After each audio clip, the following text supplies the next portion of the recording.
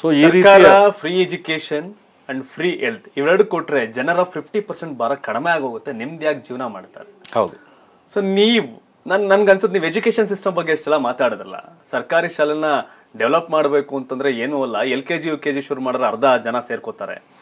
ಇನ್ನಲ್ಲಿ ಒಂದಷ್ಟು ಸಿಸ್ಟಮ್ ಏನೇನು ಬೇಕು ಅವಶ್ಯಕತೆಗಳ ಪೂರೈಕೆ ಮಾಡಿದ್ರೆ more than fifty percent students ಸರ್ಕಾರಿ ಶಾಲೆಗೆ ಹೋಗ್ತಾರೆ ಅಂತ ಹೇಳಿದ್ರಿ. ಇವೆಲ್ಲ ಕೇಳಿದಾಗ ನೀವು ಎಜುಕೇಶನ್ ಮಿನಿಸ್ಟರ್ ಆಗಿರ್ಬೇಕಾಗಿತ್ತು ಅಂತ ಅನಿಸ್ತು. ಬಿಡಿ ಅದೇನು ಸದ್ಯಕ್ಕೆ ಆಗಲಿಲ್ಲ. ಅಂಡ್ ಹೆಲ್ತ್ ವಿಚಾರಕ್ಕೆ ಹೇಳ್ತಾ ಇದ್ದೀರಿ. ನೀವು ವಿದೇಶದಲ್ಲಿ ಕೂಡ ಫ್ರಾನ್ಸ್ಗೆ ಹೋಗಿದ್ರಿ. ಯುರೋಪ್ ಕಂಟ್ರಿಗೆ ಹೋದ್ರಿ ಅಲ್ಲೆಲ್ಲ ಓದಿದ್ರಿ ಬಂದ್ರಿ. ನೀವು ಯಶಸ್ವಿ ಉದ್ಯಮಿ ಕೂಡ ಹೌದು. ಉದ್ಯಮವನ್ನ ಬಿಟ್ಟು ರಾಜಕಾರಣಕ್ಕೆ ಬಂದು ರಾಜಕಾರಣ ಮಾಡ್ತಿದ್ದೀರಿ. ಒಬ್ಬ ಉದ್ಯಮಿ ರಾಜಕಾರಣಿ ಆದಾಗ ಶಿಸ್ತುಬದ್ಧವಾಗಿ ನಡೆಸಬೇಕು ಅಂತ ಅನ್ಕೋತಾರೆ. ಯಶಸ್ವಿ ಉದ್ಯಮಿ ಆಗಿದ್ರಲ್ಲ ಇಲ್ಲೂ ಕೂಡ ಅಷ್ಟೇ ಶಿಸ್ತಾಗಿ ನಾನು ರಾಜಕಾರಣ ಮಾಡಬೇಕು ಅಂತ ಅನ್ಕೋತೀರಿ. ಸೊ ಇನ್ನೇನೇನು ಚೇಂಜಸ್ ಆಗಬೇಕು ಅನ್ಸುತ್ತೆ ತಮಗೆ ನಮ್ಮ ಸೊಸೈಟಿನಲ್ಲಿ ಭಾಳಷ್ಟು ಸ ಭಾಳಷ್ಟು ಹೆಡ್ರೂಮ್ ಇದೆ. ಅಂದ್ರೆ ನಮ್ಗೆ ಬದಲಾವಣೆ ಮಾಡಾಕ ನಮ್ಮಂತ ಸರ್ಕಾರದಲ್ಲಿ ಭಾಳ ಅಂದ್ರೆ ಭಾಳ ಅವಶ್ಯಕತೆ ಇದೆ. ಪ್ರತಿಯೊಂದು ಡಿಪಾರ್ಟ್ಮೆಂಟ್ದಲ್ಲಿ ಕೂಡ ನಾವು ಸುಧಾರಣೆ ಬದಲಾವಣೆ ಮಾಡಲಿಕ್ಕೆ ಅವಕಾಶ ಇದೆ. ಸೊ ಹೆಲ್ತ್ ಹೌಸಿಂಗ್ ಹೌಸಿಂಗ್ ನಾವು ಇದು ತೊಗೊಂಡ್ರೆ ಇವತ್ತು ನಮ್ಮ ಒಂದು ಬಡವರ ಮನೆಯಲ್ಲಿ ತೊಗೊಂಡ್ರೆ ಅವ್ರಿಗೆ ನನ್ನ ನಾಲ್ಕು ವಿಷಯದಲ್ಲಿ ಅವ್ರಿಗೆ ಭಾಳ ತೊಂದರೆ ಇರ್ತೈತಿ. ಒಂದು ಯಾರಿಗಾದ್ರೂ ಆರೋಗ್ಯ ಏರ್ಪೇರ್ ಆತಂದ್ರೆ ಇದಕ್ಕೆ ಅವ್ರ ಮನೆ ಉತ್ಪನ್ನ ಐದು ಸಾವಿರ ರೂಪಾಯಿ ಇರಲಿ. ಅದರಲ್ಲಿ ಅವ್ರು ಮ್ಯಾನೇಜ್ ಮಾಡ್ಕೊತಿರ್ತಾರೆ.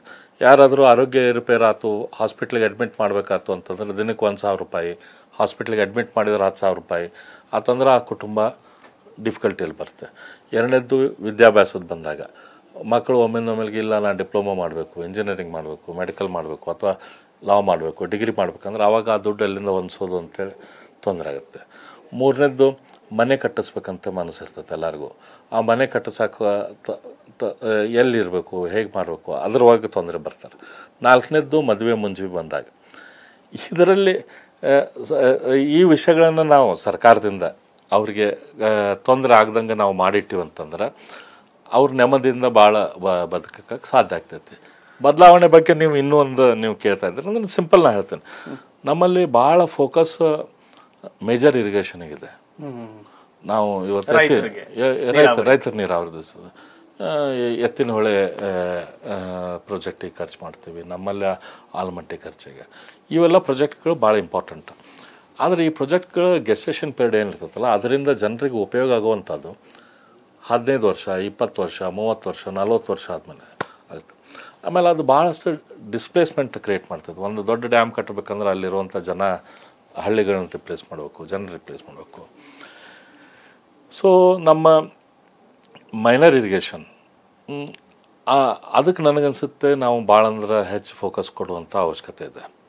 ನನ್ನ ಕ್ಷೇತ್ರದಲ್ಲಿ ಒಂದು ನಾವು ಮೈ ಫಸ್ಟ್ ಡ್ಯಾ ನಾನು ಒಂದು ಡ್ಯಾ ಇದು ಮಾಡಿದೆ ಚೆಕ್ ಡ್ಯಾಮ್ ಆ ಚೆಕ್ ಡ್ಯಾಮ್ ಅಮರ್ಗೋಳ ಅಂತ ನಮ್ಮ ಕ್ಷೇತ್ರದಲ್ಲಿ ಒಂದು ಊರು ಬರ್ತೈತಿ ಅಲ್ಲಿ ನನ್ನ ಕ್ಷೇತ್ರದಲ್ಲಿ ಫಸ್ಟ್ ಚೆಕ್ ಡ್ಯಾಮ್ ಮಾಡಿದೆ. ಅದಕ್ಕೆ ಸುಮಾರು ಅರವತ್ತು ಲಕ್ಷ ರೂಪಾಯಿ ಖರ್ಚಾಯಿತು.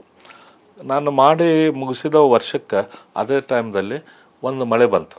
ಜಸ್ಟ್ ಕಂಪ್ಲೀಟ್ ಆಗ್ತಾ ಇತ್ತು. ಒಂದು ಮಳೆ ಬಂತು. ಅದು ಮಳೆ ಬಂದ ಕೂಡ ಚೆಕ್ ಡ್ಯಾಮ್ ಮಾಡಿದಾಗ ಹಿಂದಲ್ಲಿ ಮಣ್ಣು ಅದು ಸ್ವಚ್ಛ ಮಾಡಿ ಇಟ್ಟಿರ್ತಾರೆ. ಆ ನೀರೆಲ್ಲ ಅದು ಮಣ್ಣಲ್ಲಿ ಕೊಚ್ಕೊಂಡು ಇದು ಹೋಯಿತು.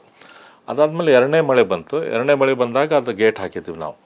ಗೇಟ್ ಹಾಕಿದ ಕೂಡ ಮಳೆ ನೀರು ನಿಂತು. ಆಮೇಲೆ ಮಳೆನೇ ಆಗಲಿಲ್ಲ. ನಾ ಆ ಭಾಗದಲ್ಲಿ. ಆವಾಗ ಬರಗಾಲ ಶುರುವಾಗ ಮೂರು ವರ್ಷ ಸತತ ಹೆಚ್ಚು ಮಳೆನೇ ಆಗಲಿಲ್ಲ. ಆದ್ರೆ ಆ ಚೆಕ್ ಡ್ಯಾಮ್ದಲ್ಲಿ ನೀರು ನಿಂತಿತ್ತು. ಸೊ ಆ ಭಾಗದಲ್ಲಿ ಎಲ್ಲೂ ನೀರಾವರಿ ಇದ್ದಿದ್ದಿಲ್ಲ. ಎಲೆಕ್ಟ್ರಿಸಿಟಿ ಲೈನೂ ಇದ್ದಿದ್ದಿಲ್ಲ. ರೈತರು ಏನು ಮಾಡಿದ್ರು? ಸಾಕಷ್ಟು ಜನ ರೈತರು ಪೆಟ್ರೋ ಕೆರೋಸಿನ್ ಪಂಪ್ಗಳನ್ನ ತೊಗೊಂಬಂದರು. ತೊಗೊಂಬಂದು ಅವನ್ನ ಪಂಪ್ ಹಚ್ಚಿ ನೀರು ಇರಾವರಿ ನೀರಾವರಿ ಇರಿಗೇಷನ್ ಸುಮಾರು ಒಂದು ನೂರ ಐವತ್ತು ಎಕರೆ ನೀರಾವರಿ ಇರಿಗೇಷನ್ ಆಯ್ತು ಅದರಲ್ಲೇ. ಸೊ ನಾನು ಅದನ್ನ ಒಂದು ಅಸೆಸ್ಮೆಂಟ್ ಮಾಡಿದೆ. ಸೊ ಅಂದಾಜು ಐತಲ್ಲ ಆ ಭಾಗದಲ್ಲಿ ಪರ್ ಎಕರೆಗೆ ಒಂದು ಐವತ್ತು ಸಾವಿರ ರೂಪಾಯಿ ಅವರಿಗೆ ಉತ್ಪನ್ನ ಬಂತು ನೀರಾವರಿಯಿಂದ. ಒಂದು ಕ್ರಾಪ್ದಲ್ಲಿ ಅವ್ರ ಖರ್ಚು ಖರ್ಚು ತೆಗೆದು ಒಂದು ಹದಿನೈದು ಇಪ್ಪತ್ತು ಸಾವಿರ ರೂಪಾಯಿ ಆ ರೈತರಿಗೆ ಉಳಿತು. ಸೊ ನಮಗೆ ಆ ಎಕಾನಮಿಗೆ ಅಲ್ಲಿ ಬಂದಂಥ ದುಡ್ಡು ನೂರ ಐವತ್ತು ಎಕರೆಯಿಂದ ಸುಮಾರು ಎಪ್ಪತ್ತೈದು ಲಕ್ಷ ರೂಪಾಯಿ ಬಂತು. ಓಕೆ ಅದು ಖರ್ಚಾಗಿದೆ ಅರವತ್ತು ಲಕ್ಷ? ಖರ್ಚಾಗಿದ್ದು ಅರವತ್ತು ಲಕ್ಷ. ಬರೀ ಒಂದು ಒಂದು ಸೀಸನ್ದಲ್ಲಿ ಸುಮಾರು ಎಪ್ಪತ್ತೈದು ಲಕ್ಷ ರೂಪಾಯಿ ಆ ಎಕಾನಮಿಗೆ ಬಂತು. ಆ ಮೂವತ್ತು ಸಾವಿರ ರೂಪಾಯಿ ಖರ್ಚದಲ್ಲಿ ಗೊಬ್ಬರ ಅವ್ರ ಪೆಟ್ರೋಲಿಗೆ ಖರ್ಚು ಮಾಡಿರ್ತಾರೆ. ಆಳುಗಳಿಗೆ ಖರ್ಚು ಮಾಡಿರ್ತಾರೆ ಎಲ್ಲ ಆಗಿರುತ್ತೆ. ಅವ್ರಿಗೆ ಒಂದು ಹದಿನೈದು ಇಪ್ಪತ್ತು ಸಾವಿರ ರೂಪಾಯಿ ಉಳಿದ್ರು. ಸೊ ಡೈರೆಕ್ಟ್ ಬೆನಿಫಿಟ್ ನಾನು ಒಬ್ಬ ನಮ್ಮ ಮಿತ್ರರೊಬ್ಬರಿದ್ದರು. ಬಾಂಬೆ ಬಾಂಬೆಲಿ ಇರ್ತಾರೆ ಅವರು. ಅವ್ರು ಗುಜರಾತ್ಗಳು ಮೂಲ. ಅವ್ರು ನನಗೆ ಒಂದು ಸತಿ ತಮ್ಮ ಒಂದು ಇನ್ಸಿಡೆಂಟ್ ಹೇಳಿದರು. ಅವ್ರ ಮೂಲತಃ ಭಾವನಗರದವ್ರು ಗುಜರಾತದ್ದು. ಭಾವನಗರದಲ್ಲಿ ಅವ್ರದ್ದೊಂದು ಮನೆ ಇತ್ತು, ಹಳೆ ಮನೆ. ಆ ಮನೆಯಲ್ಲಿ ಒಂದು ಬಾವಿ ಇತ್ತು ಆ ಬಾವಿಯಲ್ಲಿ ಇವ್ರು ಚಿಕ್ಕವರಿದ್ದಾಗ ನೀರಿತ್ತಂತ. ಸುಮಾರು ನಲ್ವತ್ತೈದು, ಐವತ್ತು ಫೀಟಿಗೆ ನೀರಿತ್ತು. ಅದಾದ್ಮೇಲೆ ಇವ್ರು ದೊಡ್ಡವರಾದರು. ಇವ್ರು ಬಾಂಬೆಗೆ ಬಂದರು ವ್ಯಾಪಾರ ಎಸ್ಟಾಬ್ಲಿಷ್ ಮಾಡಿದರು. ಒಳ್ಳೆ ಭಾಳ ದೊಡ್ಡ ವ್ಯಾಪಾರ ವ್ಯಾಪಾರಿ. ಆದ್ರೆ ಆ ಮನೆಯಲ್ಲಿ ಅವ್ರ ಊರಲ್ಲಿದ್ದಂಥ ಬಾವಿ ನೀರು ಕೆಳಗೆ ಹೋಗ್ತಾ ಹೋಯ್ತಂತ. ಆಮೇಲೆ ಡ್ರೈ ಆಯ್ತದು ಅದಾದ್ಮೇಲೆ ಇವ್ರು ಅದನ್ನ ಇನ್ನೂ ತೆಗ್ ತೆಗ್ಸಿದ್ರು. ಸುಮಾರು ಎರಡ್ನೂರು ಫೀಟ್ ತನಕನೂ ಬಾವಿಯಲ್ಲಿ ತೆಗ್ಸಿದ್ರು. ಬಾವಿನ ಉಳಿಸ್ಕೋಬೇಕಂತ ಅವ್ರ ಮನಸ್ಸಲ್ಲಿತ್ತು ಅಷ್ಟು ತೆಗ್ಗದಲ್ಲಿ ಹೋದ್ರು ಕೂಡ ಅದಕ್ಕೆ ನೀರು ಹತ್ತಲಿಲ್ಲ ಅದಾದ್ಮೇಲೆ ಬೋರ್ ಹೊಡ್ಸಿದ್ರು.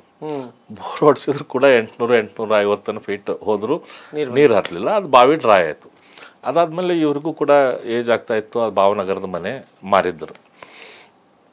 ಅವ್ರು ಹೇಳ್ತಾ ಇದ್ರು ನನ್ನ ನಾ ಯಾರು ಮನೆ ಮಾರಿದ್ನಲ್ಲ ಅವ್ರು ನನಗೆ ಒಂದ್ಸತಿ ಭೇಟಿ ಆದರು ಅಂತ. ಅವ್ರು ನಂಗೆ ಕೇಳಿದ್ರೆ ನಿಮ್ಗೆ ನೆನಪಿದೇನ ನಿಮ್ಮ ಮನೆಯಲ್ಲಿ ಒಂದು ಬಾವಿ ಇತ್ತು? ಅಂತ ಅವ್ರು ಕೇಳಿದ್ರಂತ. ಹೌದು ಗೊತ್ತೈತಿ ನಾವು ಚಿಕ್ಕವರಿದ್ದಾಗ ಬಾವಿ. ಆ ಆ ಬಾವಿ ಐತನಂತ ಕೇಳಿದ್ರಂತ ಇವ್ರು. ಆ ಬಾವಿ ಐತಿ ಅದ್ರಾಗ ನೀರು ಬಂದಿದೆ ಅಂತ ಹೇಳಿದ್ರಂತ.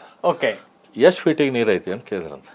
ಇಲ್ಲ ಮ್ಯಾಲಿಂದ ಈಗ ಒಂದು ಹದಿನೈದು ಫೀಟಿಗೆ ನೀರು ಬರ್ತೈತಿ ಅಂತ ಹೇಳಿದ್ರಂತ ಭಾವನಗರದಲ್ಲಿ. ಅವ್ರು ಹೇಳ್ತಾ ಇದ್ದಿದ್ದು ಆಗಿದ್ದು ಯಾಕೆ ಕಾರಣ ಅಂತಂದ್ರೆ ಅವ್ರು ನನ್ನ ಬಾಂಬೆ ಫ್ರೆಂಡ್ ಹೇಳ್ತಾ ಇದ್ರು ಗುಜರಾತಲ್ಲಿ ಮೋದಿ ಸುಮಾರು ಲಕ್ಷಗಟ್ಟಲೆ ಚೆಕ್ ಡ್ಯಾಮ್ ಕಟ್ಟಿಸಿದ್ರು ಚಿಕ್ಕ ಚಿಕ್ಕ ಚಿಕ್ಕ ಚಿಕ್ಕ ಚಿಕ್ಕ ಚಿಕ್ಕ ಡ್ಯಾಮ್ಗಳನ್ನ ಕಟ್ಟಿಸಿ ನೀರು ನಿಲ್ಲುವಂಗೆ ಮಾಡಿದ್ರು. ಹಾಗಾಗಿ ಅಂತರ್ಜಲ ಮಟ್ಟ ಹೆಚ್ಚಾಯ್ತು.